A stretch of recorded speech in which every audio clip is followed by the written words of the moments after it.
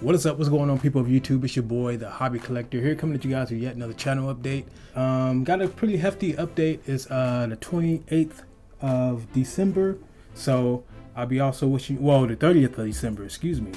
Uh, so I'll be also wishing you guys a happy new year inside this video and talk to you guys about my new year's resolutions and stuff like that. First, let's start this channel update and personal update off by starting off with the elephant in the room, that is COVID-19. All of us out there been going through our own little personal, individual, you know, uh, issues and, you know, problems and stuff and just overall the circumstances that this, uh, you know, virus and stuff brought to us all for example, like my son, he lost his grandma on his mom's side. So um, that's that. From what I heard, it wasn't due to COVID nineteen, but you know, with that going on, including you know, that on top of everything, it just makes everything intensif- intensified. So like I've been saying inside my vlogs, inside my even inside my entertainment videos, Instagram and stuff like that, Facebook. Um, we just gotta you know take it for what it's worth and just try and stay as stay positive as much as we can and just you know work our way through everything and stuff and keep our heads up as much as we can and just, you know what I'm saying, work together. You know, and I felt like, and like I've been telling people personally that I know on a personal level, I feel like 2021 is going to really, really bring people together. You know, if the, if the world doesn't end in 2021, I feel like that year or next year is going to be the year that people realize what life is really about. Like this year, 2020 was a year of learning and growing and really, really taking time to yourself. A lot of people didn't utilize this self time to grow within yourself and spiritually grow your mind and figure things out and just increase your knowledge you know, about everything. You know, this is your time to really, really increase your skills, really, really take time to spend more time with the family, more time with the kids, most definitely, because they are the future. The reason why generations are getting worse and worse each generation is because it's because each generation of adults are getting dumber and dumber and worse and worse and not training and teaching their kids. So without me preaching too much, let me go ahead and move it over to the next topic because you, you, guys know once I, once I get to talking and it's, some real deep topics, I can I can keep going all day long. You know what I'm saying? Just to close this intro out, to stay safe and positive, stay active, and just you know what I'm saying, to stay having fun. You know, don't stop doing what you're doing just because stuff is going on. You gotta stay st still stay attacking life like I've been doing. So let's go ahead and move over to my next topic. All right, so next topic is my new Walmart position. I know you're probably watching like, damn, did you just say that inside your last video? Yeah, I mean, I've been, like I said just a little moments ago, you gotta attack life, man. I've just been attacking life. And it was if it wasn't for COVID-19, trust me, this would have been one of my best years. It still is one of my one of my best years ever, even with the virus and stuff going on. You know what I'm saying? Everything being closed down. Me and my son are able to go out and do stuff like we like we want to and stuff like that. And, you know, vehicle issues and stuff like that. I'll talk more about that later on and just you know but even with all that being said man i've been achieving stuff and doing stuff for the first time this year that i never done before in my life and just achieving you know what i'm saying? So i'm still an hourly manager. For the people that know that i'm a manager at walmart i'm still hourly which i don't mind. I'm not in a rush to be an, an assistant at all you know what i'm saying? That's easy 12 to 15 hours a day you know what i'm saying? The money is good you know what i'm saying? We look real handsome but you know i'm not rushing into into that yet. Everything has a time limit and like I told, like I said inside a different video, I have a patient spirit these days, and it's been paying off most definitely. And that's what makes me even stay even more patient and and make me enjoy. It allows me to, to enjoy things, not really enjoy things that happen or slow me down, but it allows me to accept it and just, you know, I'm saying, maneuver my way through, knowing that as long as I see that light, or you know, I'm saying, as long as I'm working towards that light, towards at the end of the tunnel, then you know, I'm saying, it's it's nothing. You know what I'm saying? Just keep working through it. Just be patient. As long as you're moving forward, it don't matter. So yeah, I got offered a new position. Been working it about two months now. Um, got offered it about four months ago. Um, and it's a few more dollars than what I got paid, than what I've been getting paid and stuff like that. And this is crazy because I just been elevating, you know, and it's not even always about, you know, making more money. It's about just who you are and building upon your resume and who you are as a person and how you and your reflection. People are going to look at you and, it, and whatever you present to them is going to reflect back, you know what I'm saying? So you are pretty much a reflection of yourself. So the position I had before, I was over the receiving team, unloading the trucks and stuff like that, making sure we get everything done in time, receiving frozen dairy uh, deliveries and stuff, so all the truck deliveries in the back room and you know making sure just everything gets done all the freight gets out to the floor make sure everyone's working on the sales floor all the returns are getting done Um, I pretty much do half of that now, except for I got a little bit more responsibility. I'm not in charge of the back room no more. I'm in charge of the sales floor. Everyone knows when it comes to Walmart and different stores or different department managers split up upon different departments. You know what I'm saying? Frozen, dairy, meats and produce, um, you know what I'm saying? Um, bakery. But now I'm in charge of all that. There's not no individual department managers no more. There's one person or a few people over all those areas. So most of the time it's me and one other manager for the whole day. And sometimes it's just me for the whole day covering all those areas, supervising, bouncing back and forth, you know what I'm saying, answering pages on a walkie and stuff like that. So it's, it's a really, really fast paced job. And I'm really, really thank God that he made me a Leo first of all and made me, and I'm super, super active. You know what I'm saying? Because that's what that's that's everyone has something inside them that can make you a lot of money and can make you really successful in life. Everyone has that skill, and me, it's just that I'm super active, young for my age, and super energetic for my age. Even my son have a hard time keeping up with me. You know what I'm saying? So I thank God for that. Real talk, real ass talk.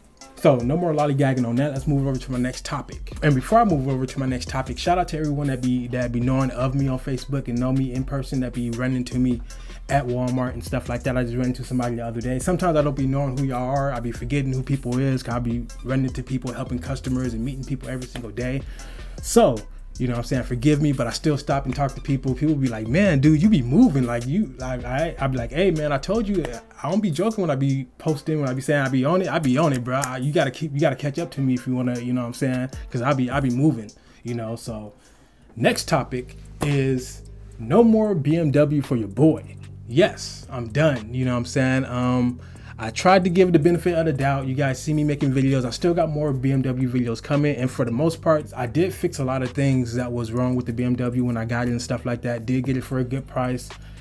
But everyone that knows about BMWs, when you get it for a good price, obviously, you know what I'm saying, there's gonna be some money you're gonna be dishing out, which I knew what I was getting myself into. That's why I turned into a YouTube project and stuff like that. Changed the titles of the different of the project a couple of times, just to just to cater towards where I what, what I wanted to do with the vehicle and stuff like that. So it turned into a DIY project and a YouTube series. Even got some people that work alongside me and work up under me that was started watching it. I didn't even know they was watching it until they came up to me like, "Dang man, I didn't even know you was still. Uh, I didn't know you was doing YouTube videos and stuff like that. I seen your, uh, you know, BMW videos, you fixing it and stuff. Like that's cool. I didn't know. And we had a whole little conversation because people didn't know I was working on vehicles. I just started working on vehicles this year. I'm glad I started with a BMW. That's the thing that makes it worth it. You know what I'm saying? Even though I've spent a lot of money buying parts and doing this and doing that, and I still can get the last code off. Anybody know about BMWs? What code am I talking about? You guys should be on a couple of codes that people know about BMWs that that shit is so difficult, so finicky. It could be the most tiniest thing or the most biggest thing, but either way it goes, this code is fucking annoying. And that is the P0012 camshaft position stuck in a retarded position. It don't matter what I did, change the valve cover, the eccentric shaft sensor, the solenoids, the freaking camshaft position sensors, change the oil five times used super expensive oil, did the flush and everything. Everything I did did not get rid of that damn code. Engine was good except for the P, P0012. I still had that code. The person told me, the guy told me to drive it around for a while so the engine can, the computer can kind of work it through. Drove it around. It didn't fix it. And then I ended up changing the battery. I remember I changed the battery, never registered the battery. I changed out about about nine months ago. So maybe that could be the issue too, that the battery need to be registered. That's how finicky BMWs are. But to be honest with you, when it comes to the BMW, I did really, really want to finish uh, that project and stuff like that. Um, now I'm having an issue to where I gotta crank it a lot of times for it to even start. So the starter isn't going out. I don't think. I just think it's the starter relay. I looked into that already. Looked at some videos. I just got tired of looking at video. I was looking at videos for like hours and hours. And like I said, you know, I did figure out a lot and I did fix a lot. I still got more videos coming up that I already filmed already months ago. What's been taking me a long time to put them up is because I could have been put them up, but it's just I, I, wanted to get it all the way finished first and then finish putting up the rest of the videos. So at least I have I'd be happy to put them all up. But if it's not finished and I still got videos to release, it's kind of like makes me not even motivated to even put them up. Even though they're videos that can help people and there's fixes that I've done and upgrades that I did it's still kind of annoying that at the end of it all, I didn't get the project done. So, so next topic within this channel update, I want to talk to you guys about the vehicle about the vehicle I did end up getting, and it's not a vehicle that people would expect me to get, especially with me liking uh, luxury for luxury foreign cars and stuff like that. Or should I say, having more of a gravitation towards those particular cars. So what I end up getting was still a crossover SUV. I'm an SUV type of dude. Crossover, should I say, SUV type of dude. It's just it fits me. You know what I'm saying? The type of person I am. I love space, especially when I get off work. I love to feel spacious. I was I, I got approved for a Camaro, you know what I'm saying, and I love how those look. I'll talk about that in a little bit later. I was out a different vehicle, a uh, different video, but I got approved for a Camaro, but I chose this over a Camaro.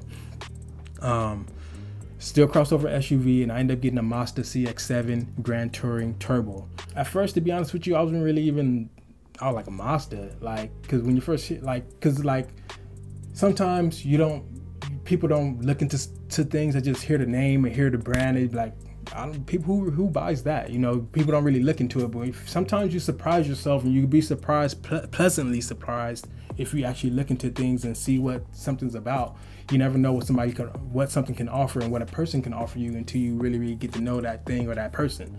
And um, I will tell you right off the bat, the thing that sold me ultimately, not ultimately, but the thing that put the cherry on top that made me go ahead and get it was turbo because it's a it's a four cylinder. There's no way in the world I'm gonna go from a six cylinder, you know what I'm saying, to a four cylinder engine. Like there's absolutely no way. You know what I'm saying? That's what BMW have, has going for itself is their strong engines. You know, their V6 and V8 engines, you know what I'm saying? They're super strong, super quick. And then the thing about the four cylinder Mazda with the turbo inside of it, it gives it the same power as a V6. So it still makes it real snappy and quick. Man, those turbos kick in real good, boy. I'm telling you. Well, I said turbos, it only has one turbo. It's not even a twin turbo, and it still gets up real good. Especially to be an SUV, man, please. I just spoke to a few people already that got surprised and stuff. and then the year I got it to 2011 there's a lot of things I like about this vehicle. I was going to mention a lot of different things inside this channel update, but it's already getting long as it is. So I will say this though, I do love the vehicle. Um, when I first seen the pictures and everything, I wasn't really liking it, but in person, I was like, oh yeah, this is it. And then even when I seen other people's Mazda CX-7, I don't like it. You know, I don't like the way it looks, you know, in person or inside pictures. But every time I see mines, it's something about mines. I just, I just love it. You know what I'm saying? The interior, you know, I was supposed to change the outside color, but from everyone else's reaction to it, people keep telling me don't change the color, man. Like the color is nice. Like people love the color of it.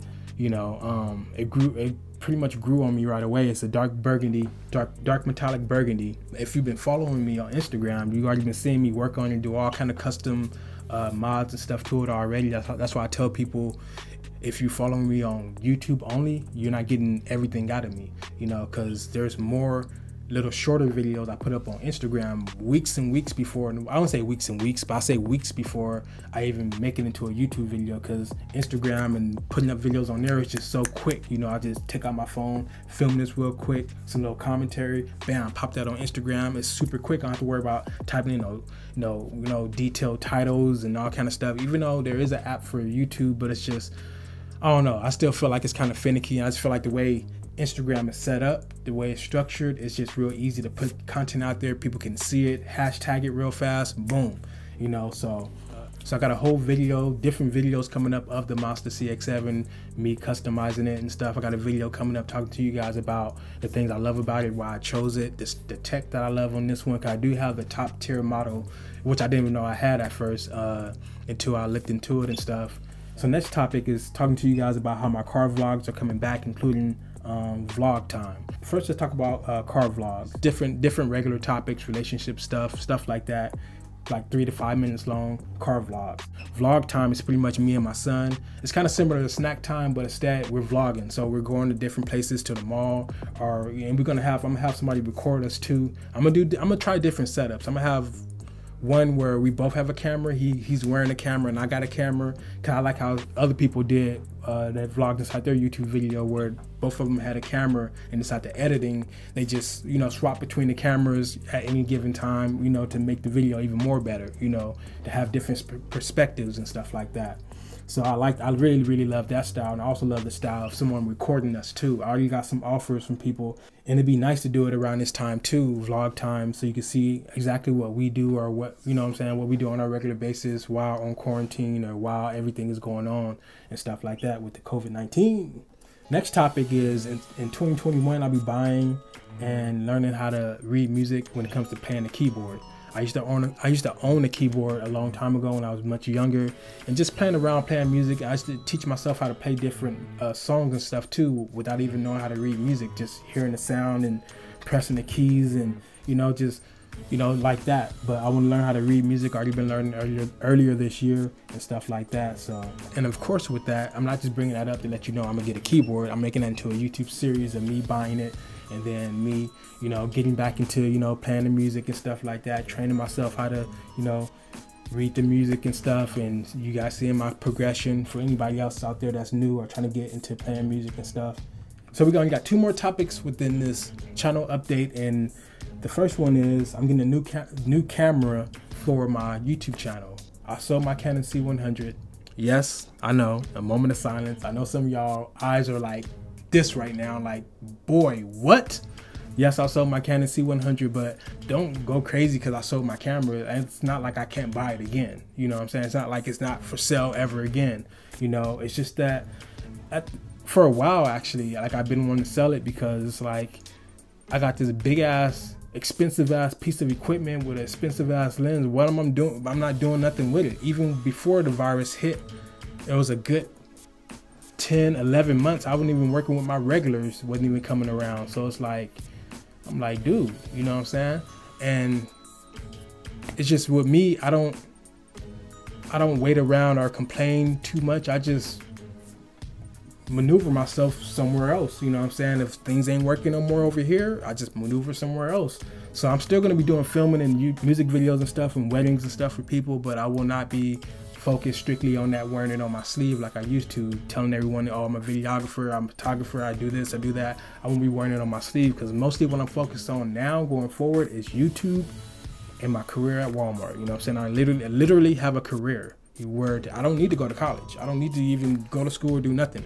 I have a career already. You know what I'm saying? And I'm about to start my 401k, 401k next year. I should have been started, could have been started it, but it makes sense to start it now. And I got this little extra hundreds and stuff, you know, popping off. I'm not the type that sit there and be stupid and just do all that and stuff. And then later on, when I'm old and old and gray, and you know what I'm saying, walking around here looking for handouts and stuff, and and you know, no, you gotta set your life up in the beginning for your future. Period. I wish somebody would have taught me that and, and, and stressed that on me a long time ago to where I would have been living like the way I'm living right now you know what I'm saying, a long time ago. Would have been setting my life up a long time ago. But yeah, back on topic, getting another cam- camera for my YouTube channel and stuff like that. Um, I was looking at that at that Blackmagic uh, Cinema, you know, camera. Um, been looking at a lot of different ones. Not actively looking, but here and there I've been looking. And then a couple of years ago, I seen some cameras I, uh, I kind of like. Um, that does a good job for what it is. I already know when I get another camera, I'm gonna be getting not annoyed, but like I'm kind of like be like, ah, because the C100 just feels so fucking good to use. All the different buttons, everything is just there. It feels like a cinema camera. Those other cameras may have 4K, but it doesn't feel like a cinema. Like it just feels finicky. It doesn't feel like a cinema camera. It feel like this, you know what I'm saying? Like I don't know. It's just the way Canon does its cameras especially the C100, the C300, and all that, is just fucking perfect. Like I gotta cuss with it, it's so damn perfect. And that's the same way I buy my vehicles and stuff like that. I get a vehicle because it feels good to me. Like every time I walk up to it, it feels like a girlfriend. You know what I'm saying? I, I look back at it and it makes me uh, makes me smile. You know, when I get inside of it, I feel I feel good inside of it. That's how I like everything that I own that's expensive that I use on a regular basis. That's how I like for it to make me feel. My camera, my bed, my TV, and my car, and my house all five of those things have to make me feel a certain type of way. It has to. No questions asked. It has to. So with that being said, people of YouTube, I'm pretty sure I could have added more to this video, but I'm pretty sure I don't need to add more because the video is long. And um, so with that being said, like I said, I'll be looking out for more videos coming. Um, 2021, I'm gonna be real busy. Um, even with this position that I got, this new Walmart position I got, I just wanted to see somebody walk through. That's crazy.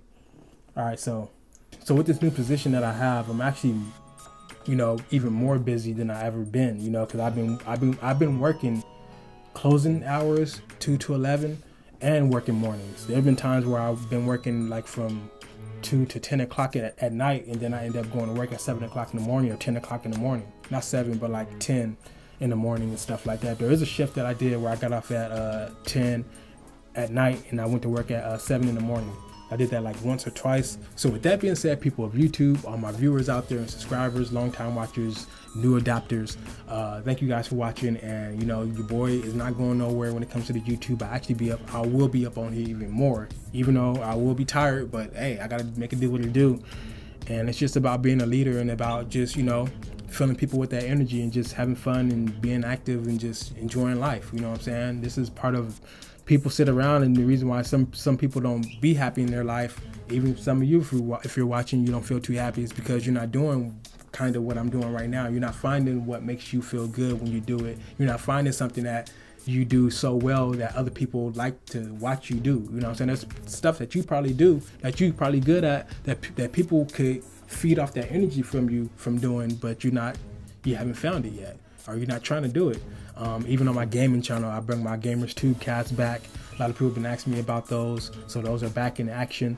Um, and I, I, just love doing them. I, it's just that I wasn't getting that many views on them, and how much time it would take to film it and produce it, edit, and everything. Like it just was not worth it. Like it was just too much damn work and just too much time. But the way I got it structured now, you know, I like the way I'm doing it now and I got my gameplays inside there with it too, so people can watch my gameplay as I talk about gaming. People don't really like watching my gameplays, but they do love watching me talk about games, which is kind of weird. I get a lot of video, I get a lot, I get a shitload of views of me talking about games, but when it comes to me playing games, if I just do gameplays, it can be the best gameplay you ever seen, some professional gameplay, and I got some underrated ass gameplay. I'm super good. Even when it comes to my unboxings, the main things that people, the main reason why people, I get so many views on my unboxings, and the main reason why people love watching my unboxings, even if it's something that they're not gonna buy, is simply because people love the way I explain things.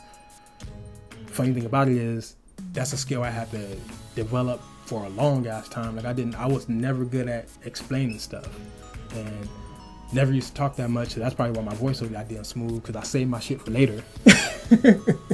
but anyways, thank you guys for watching this video. I've been trying to close it out for the last past five minutes, but you know, just trying to make sure I won't leave anything out.